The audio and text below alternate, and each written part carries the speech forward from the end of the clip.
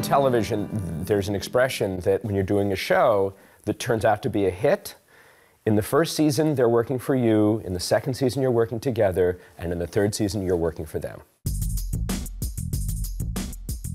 Right after episode five. I feel like we're hopefully just holding a mirror up to at least our corner of Hollywood. We've lived out here for 20 years, and this is just our take on it. Jeffrey did a pilot a number of years ago where there was the table read, and the head guy then just gets in his car and drives off. Because it was over. Mm-hmm. In his mind, it was over, and he didn't need to say goodbye. He didn't need to give a Done. note. Why bother? Why be nice?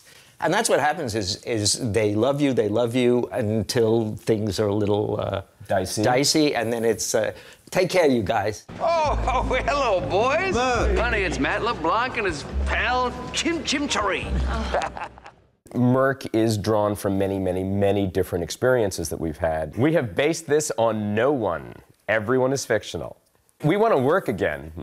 No, we don't. One of our favorite scenes in episode four, it's a very moving scene about Matt, and he's just left his children and he's devastated. And then to puncture that, uh, he throws up just a little bit on Beverly. And that's what it said in the script. He throws up just a little bit. Getting that just right, Jeffrey was working with the props guys to mixing the oatmeal to get just the right consistency. And then we tried out several different consistencies, and Matt would spit them out, Yeah. and we would look and go, "Mm, too loose. And the first time we shot it, on the first take, he overshot it.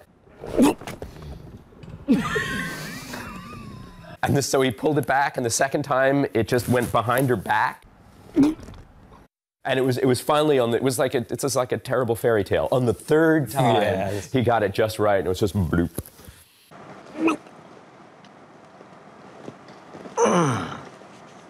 Oh, oh, sorry.